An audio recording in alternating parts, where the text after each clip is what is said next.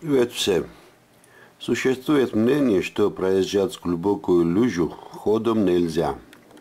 Некоторые утверждают, что это может закончиться также гидроударом двигателя.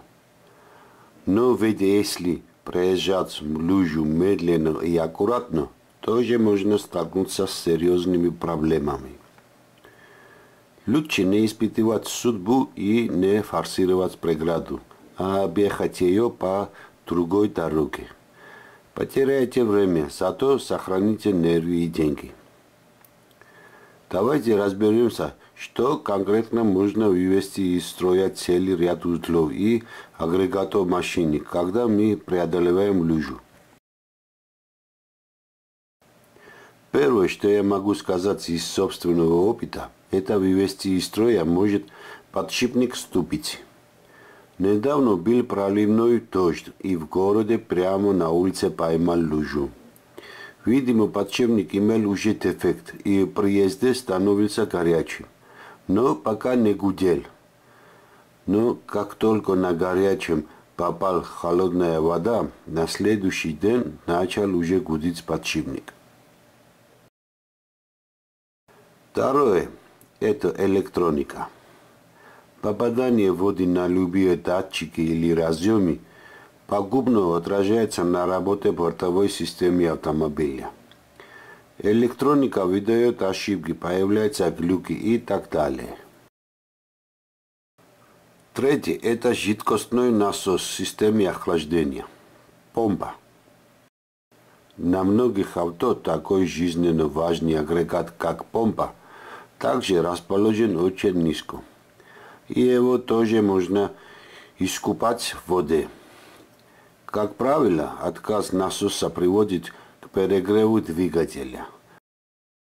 Так что после проезда лужи следите за температурой и уровнем охлаждающей жидкости.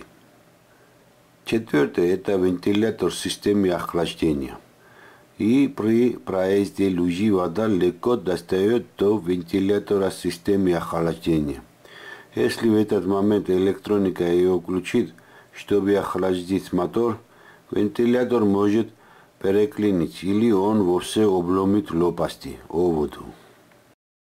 Пятое – это редуктор. Если лужа большая и глубокая, вода может попасть в редуктор моста через сапун. Сразу вы это не почувствуете. Вода постепенно смещается с маслом, уменьшая ее защитные свойства. Шестое – это электроусилитель руля. У современных автомобилей, особенно спортивных, электроусилитель руля установлен на рулевой рейке. Дело в том, что этот механизм установлен очень низко, и при проезде лужи его блок управления можно легко залить водой, что выведет узел из строя. Проблема, когда баранку вдруг становится тяжело крутить, хорошо знакома всем автовладельцам. Что делать? Так как поступить, если впереди лужа? Форсировать ее или нет? Если да, то на скорость или очень медленно. В случае, если у машины низкая посадка, то лучше не рисковать есть риск солить агрегаты и остаться в луже надолго. Ну а если у вас подготовленный внедорожник, у которого стоит шноркель, а сапуны выведены наверх, тогда даже очень глубокая лужа не станет преградой. Ну и поломки могут быть разными. Пишите ниже в комментариях, у кого какие поломки были после прохождения водяной преграды. Сейчас хочу с вами попрощаться и прошу ставьте лайк и подписывайтесь на канал. Спасибо всем за внимание.